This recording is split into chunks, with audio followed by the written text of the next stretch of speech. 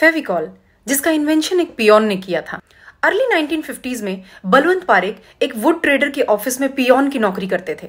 उन्होंने देखा, वहाँ के वर्कर्स वुड को चिपकाने के लिए एनिमल ग्लू का यूज़ करते हैं, जिसके साथ दो प्रॉब्लम्स थी। नंबर वन वेजिटेरियंस उस ग्लू को यूज़ करने में कंफर्टेबल नहीं थे।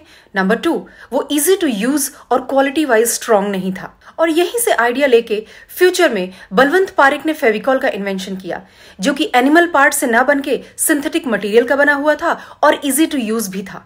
फेविकॉल के आने से पहले ये माना जाता था कि एडहेसिव सिर्फ़ कारपेंटर्स की यूज़ की चीज़ है और इसीलिए इसे बड़े बड़े कंटेनर्स में ही बेचा जाता था।